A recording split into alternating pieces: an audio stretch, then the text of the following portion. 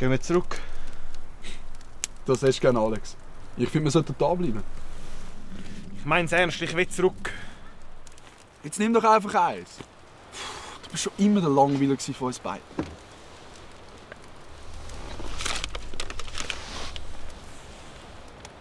Ist es dein Ernst? Ja, es ist schon spät und einfach da mit dir zu habe ich keine Lust. Du bist ja wahr für gar nichts gebrauchen. Da komme ich einmal heim zu unseren Eltern und will mit dir etwas machen und du schaffst dann nur noch kurz Zeit für mich zu nehmen. Nein, der Alex muss wieder rumheulen. Nein, nein, nein, ich will heim. Nein, du bist ja so verwöhnt. Du willst immer noch bei der Mutter. Nimm das Beispiel an mir.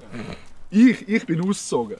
Finanziell äußerst stabil. Liebesleben anders im Griff.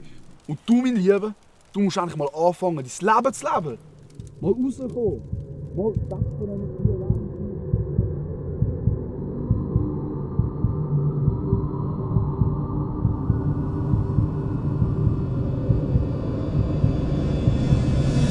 Weißt du was? Du bist schon immer so ein richtig mies gelaunter Deppen-Typ. gewesen. Du bringst negative Stimmung. Und ich weiß es eigentlich schon lange, aber langsam bin ich mir ziemlich sicher, dass unser Vater wegen dir abgehauen ist.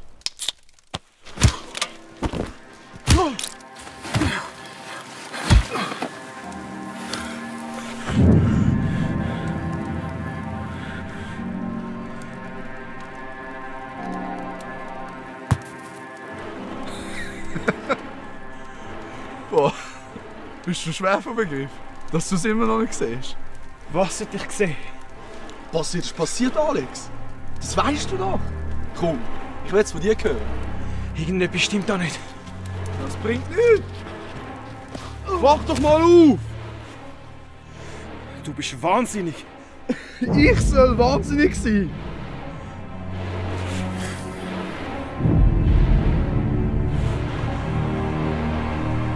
Das ist nicht real.